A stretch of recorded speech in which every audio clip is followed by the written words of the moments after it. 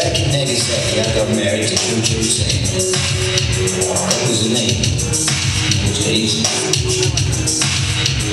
And I was her man. I went back to her. She got a problem.